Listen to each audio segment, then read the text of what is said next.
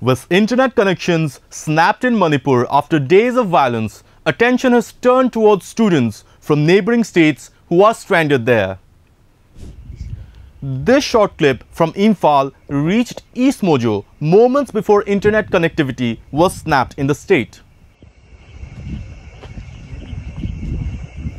On Friday morning, East Mojo reached out to a few students from Manipur University who informed that last night an explosion took place not too far from the campus.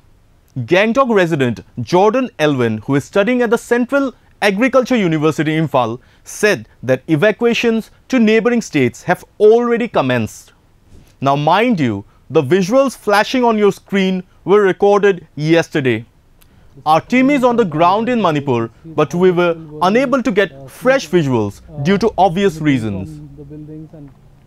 Meanwhile, Nagaland's Home Department has conveyed that helpline numbers have been activated at State Police Headquarters and the Nagaland State Disaster Management Authority to make provisions for evacuation in case the need arises.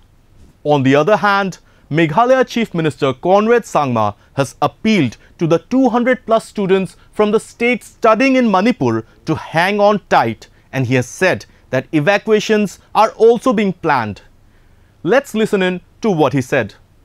We had an emergent meeting with all the senior officials of uh, the state government of Meghalaya to monitor the situation in Manipur, especially keeping in mind that a large number of students, almost close to 200 students from Meghalaya today are studying in Manipur, specifically in Imphal. We are monitoring the situation closely. We are in touch with the students of the different institutes.